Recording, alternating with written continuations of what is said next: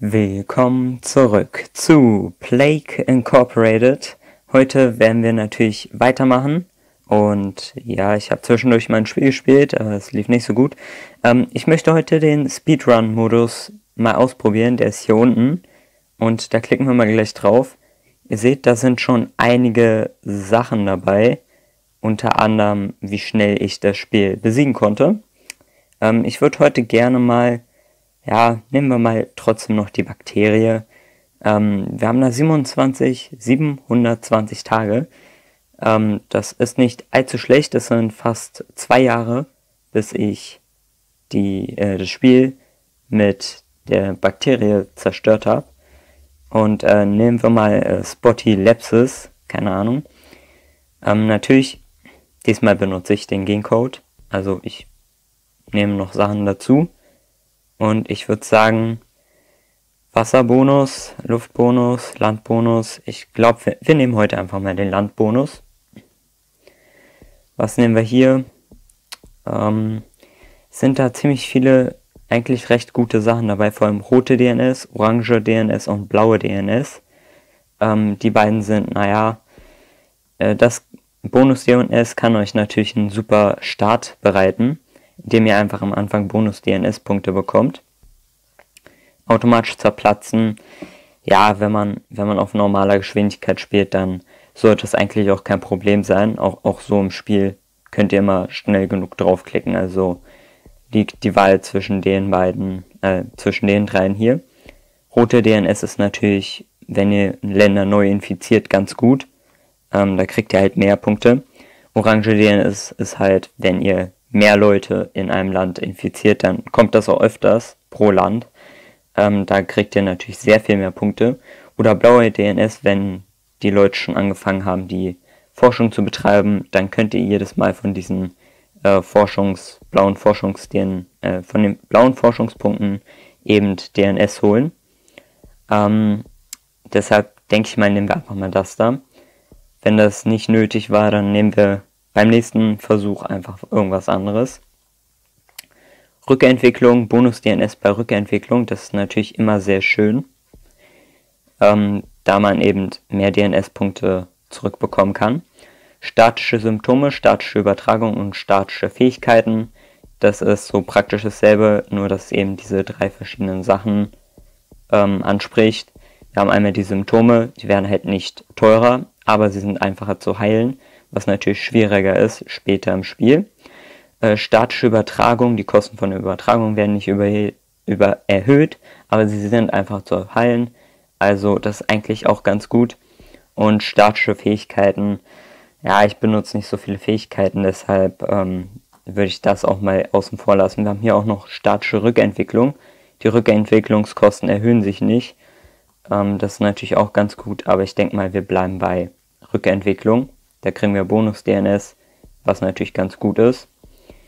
Hier, ja, würde ich eigentlich den Mutationsbonus nehmen, weil der zusammen mit, mit der Rückentwicklung ähm, euch sehr viele DNS-Punkte einbringen kann. Und was nehmen wir hier? Am besten wäre natürlich Widerstandsfähigkeit, aber ich denke mal, ich nehme ich nehm den Trockenbonus. Ähm, wir beginnen in Russland diesmal da das für einen Speedrun sehr gut geeignet ist. Da ihr da ja, Speedrun gestartet, ihr könnt da sehr schnell Grönland ähm, infizieren, was natürlich sehr wichtig ist. So, das läuft gerade ein bisschen langsam ab. Bisschen zu langsam. Ist nur eine Person infiziert. Okay. Es sind erst zwei Infizierte. Das ist ein bisschen komisch, dass nach über einem Monat eine Person infiziert ist. Und wir gehen direkt zu den Symptomen, würde ich sagen. Ähm, mal wieder Husten ist ein sehr guter Weg, um schneller zu verbreiten. Und wir gehen zu Niesen und holen uns das auch noch. Das sind nicht allzu schlimme Symptome, sind aber ähm, von der Ansteckungsgefahr sehr, sehr gut. Und da kann man sehr schnell äh, Leute infizieren. So, was haben wir hier noch? Wir haben Ausschlag, wir haben Zysten. Das sind so beide sehr ansteckende Krankheiten. Äh, ich denke mal, ich nehme Ausschlag, weil Ausschlag weniger von dieser Schwere hinzufügt. Was haben wir hier noch? Lungenentzündung. Hat eine höhere Ansteckungsgefahr, ist aber ein bisschen schwerer. Braucht aber genauso viele Punkte, also nehmen wir einfach mal die Lungenentzündung. Sollte nicht allzu schlimm sein. Kann ja hin und wieder passieren. Es ist halt kalt dort. Da kann es einfach eine Erkältung sein. Und wir haben elf, über 11 Punkte, das heißt wir uns hier Arzneimittelresistenz. Ähm, ja, die beste Rede, die es je gab, das werde ich jetzt nicht lesen. Das ist nicht unbedingt wichtig für unsere Krankheit. Wenn ihr es sehen wollt, dann könnt ihr mal zurückspulen. So, jetzt nehmen wir aber Ausschlag. Ähm, dann haben wir eine etwas bessere Krankheit. Und ich würde sagen, ich würde mir gern Wasser 1 holen, damit wir schneller uns verteilen können. Oha, es sind über, über 4000 Leute in, in der Karibik gerade gestorben. Anämie-Symptom mutiert, ja, ich will das nicht unbedingt. Oha, 4, 4 DNS-Punkte. Vorher waren es nur 2. Jetzt erhalten wir einfach das Doppelte. Ähm, deshalb bringt das sehr viel was. Mutationschancen erhöht und gleichzeitig äh, die Rückentwicklung. Ähm, ihr kriegt mehr Krankheiten und ihr könnt auch mehr Durchbruch bei Durchfallforschung. Ähm, ihr könnt halt auch mehr Sachen rückentwickeln, was halt doppelt gut ist. Ihr kriegt halt sehr viel DNS-Punkte sehr schnell. Und wir haben gerade mehrere Länder infiziert, was sehr schön ist. Und da infizieren wir noch viel mehr Länder. Jetzt würde ich die Übertragung mal ein bisschen erhöhen. Vielleicht auf Viehbestand gehen oder auf Vögel. Ich würde am liebsten erstmal Vögel machen. Dann haben wir das schon mal. So, und Vögel.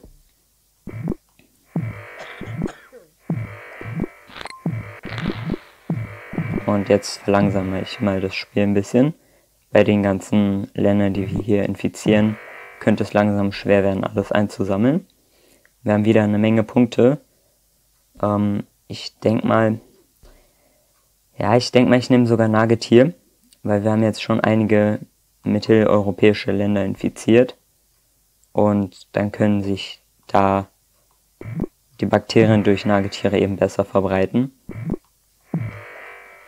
Und wir haben noch ein paar mehr südlichere Länder. Und wir haben Grönland infiziert, das ist sehr schön. Und wir haben wieder 12 Punkte.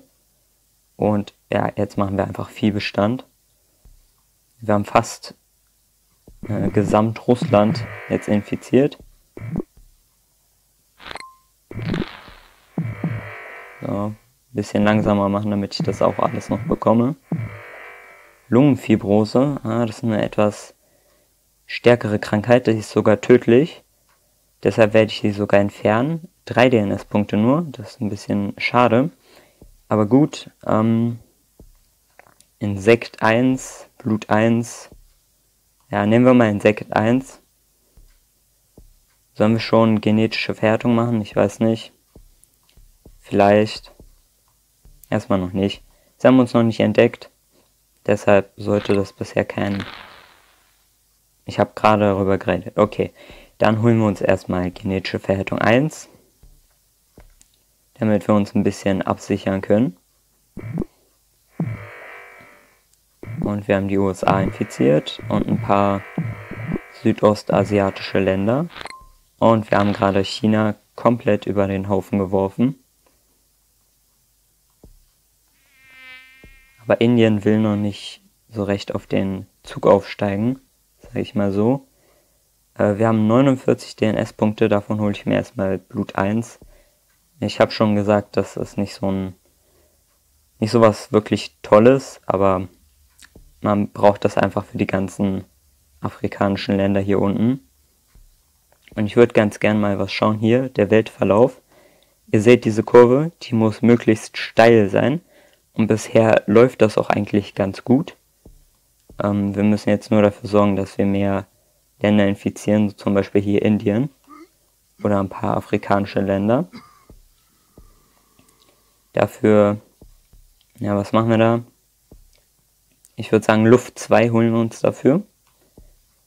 Dann können wir einerseits über Flugzeuge besser übertragen.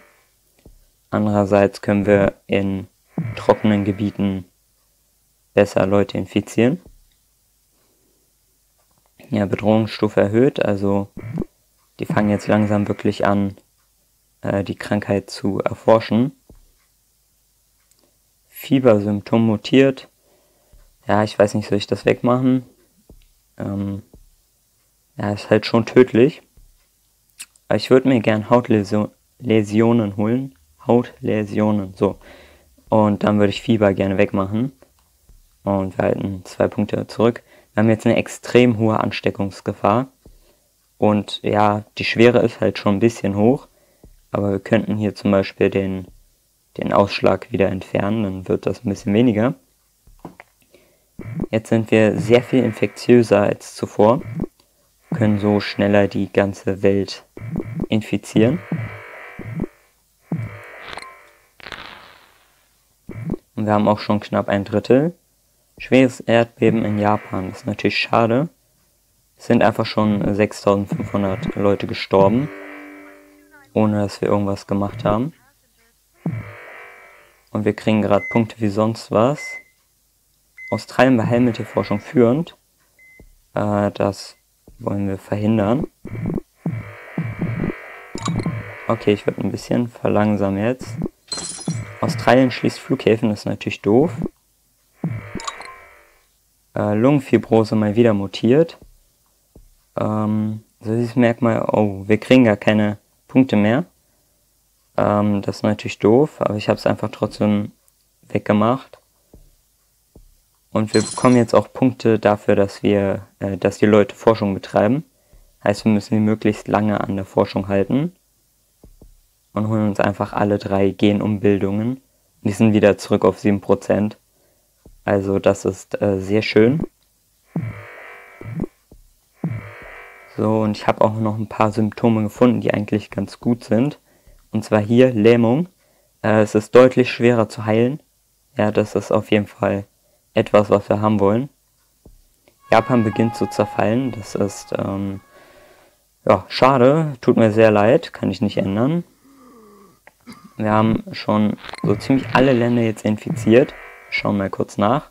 Ausbreitungsübersicht. Ja, wir haben alle Länder infiziert. Das ist sehr gut. Schlafstörung mutiert. Äh, oh, das kostet jetzt sogar. Nee, das mache ich nicht.